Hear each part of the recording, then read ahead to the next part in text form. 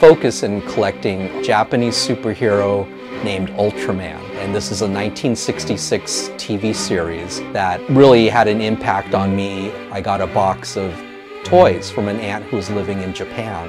This is like around 1973.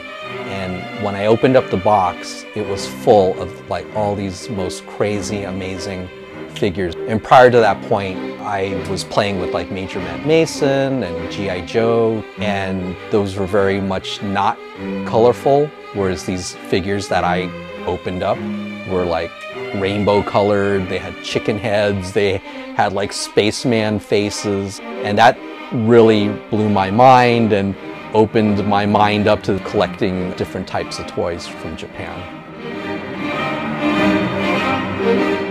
My name is Mark Nagata.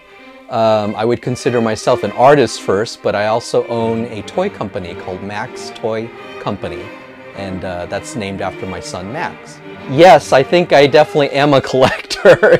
in fact, uh, I worry that sometimes it might be bordering on hoarding in some cases, but uh, uh you know, I try to keep it a, a nicely organized hoarding.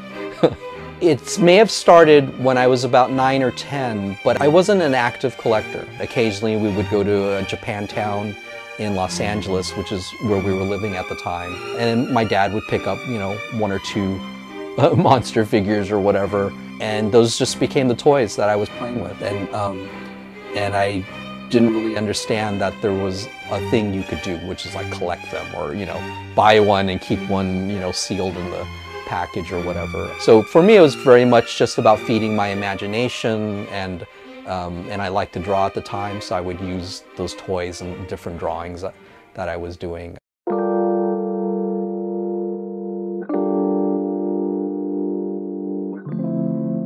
I could pinpoint pretty precisely in the late 80s to early 90s. I was living here in San Francisco and Japanese model kit stores started popping up.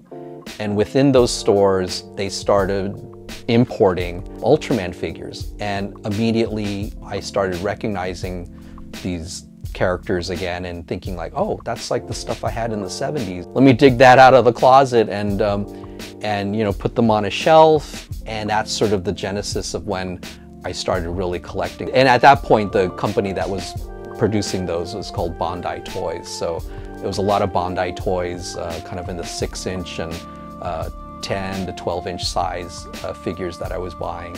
And then my uh, girlfriend at the time, who is now my wife, and I would go to antique shows and then we would start rummaging through boxes looking for old Japanese toys and it sort of snowballed from there. One of the hallmarks of a vintage Japanese toy is that during that time period, so the 60s and 70s, when, when these toys that I like came out, a lot of the parents would write the kid's name on the foot. So say Kenji or whatever, whatever the kid's name was. And so subsequently over the years, a lot of the toys you'd find uh, in toy stores in Japan or even here in the US, if you flip them around, you'll see writing on the bottom of the foot or even on the back and it's, it's the kid's name. Now, for me, I thought that was really cool. Um, it never turned me off. You know, there are other collectors who only want something that's like super uh, pristine and untouched or, you know, even mint in bag. Uh, but for me, I was fine with that. Like I didn't mind if something had writing on the foot and in fact it led sort of a, a bit of charm to the figure. The original figures I got in 73 um, I still have most of them. Those would be like kind of the core, most treasured pieces for me because that's sort of what ignited all this stuff in me uh, in terms of collecting. Then branching out from that, as you get deeper into collecting and you find various guidebooks or even just going to Japan and looking in stores, you realize that there are so many other figures, so many other weird variations that are out there that, you know, those become your new holy grails. So my wife's always joking when I get a box in, she'll say, okay, what holy grail is it this week? because it's now it's become holy grail of the week or the month every time I get a box from Japan. So I think I've I've more than used used that term into the ground.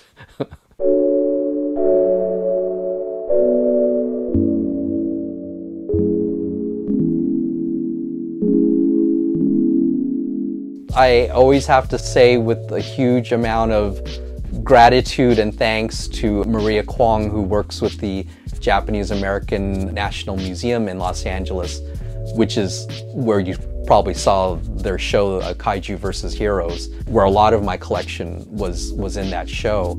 She really spearheaded and and pushed forward not only my family and my story about the internment and being Japanese American, but also that I learned my heritage through the toys, which is, you know, kind of an interesting concept. I guess all that to say, the toys have been in a few museum shows. The San Francisco airport had one. I think it's in the United Terminal. Um, they actually have a museum within those terminals that uh, passengers going back and forth can view. And they had a, a, show about Japanese toys a few years back. Yeah, and you know, occasionally, uh, you know, the, the few magazines that are still around uh, will contact me and, you know, have a few of my pieces in there. I think mostly people learn about my stuff now just through internet, Instagram, um, that kind of stuff. Uh, I, I, mean, I would love to participate in more museum shows because I mean, I think a lot of times what you miss out in print or on your iPhone is that everything is flat. You don't get the dimensionality of these toys. You can't see behind them really, or you can't tell like their size. And then obviously light playing off of the different colors that they use um, on the paints and stuff. So it, it would be cool to uh, see these toys in, in, the, in real life.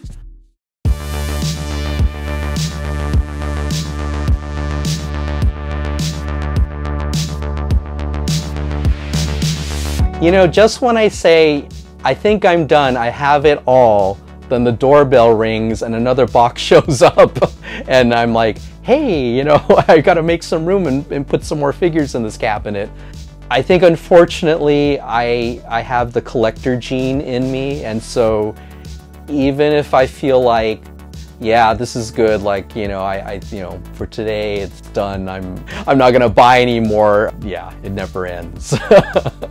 and in terms of like saying, well, do I feel proud? I feel like I got into this because visually these things really appealed to my imagination and I loved looking at them.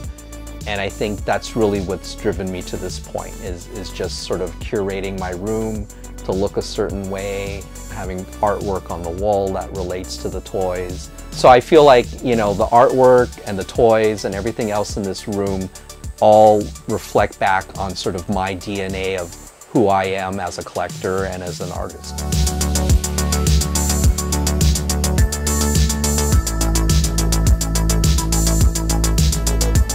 So the best way to, uh, I guess, view my collections and and whatever's new in my room is to find me on Instagram, and that's uh, Max Toy Co. Or if it's something we've made through Max Toy Company, it'd be our website, maxtoyco.com.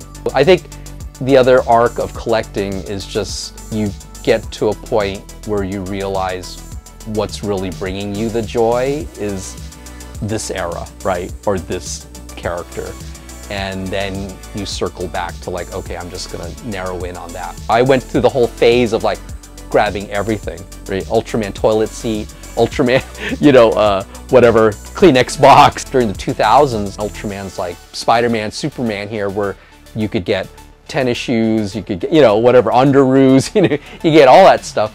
And I think at some point, the mania caught up with me and I was just buying anything Ultraman, right? People are gifting me anything Ultraman. And then I real I look down and I see this box full of stuff and I'm like, I have no connection to this, right? It's like, it doesn't, um, again, it doesn't spark the joy to me that the vintage stuff does. And again, it goes back to 73 when I was first exposed to the older toys. So, so yeah, you know, that's, it's just, just the arc of being a collector, I think. What, what's the most important lesson from toy collecting you learned? wow. Okay. Make sure you have a very understanding spouse or girlfriend or boyfriend. Try to stay within your budget. Because it's very tempting to say, I'm just going to put this on the credit card and, you know, and, and that's not good. Um, but yeah, I, I also just, you know, I, I'm very lucky that my wife, for the most part, is very patient with these giant things that come come into the room. So.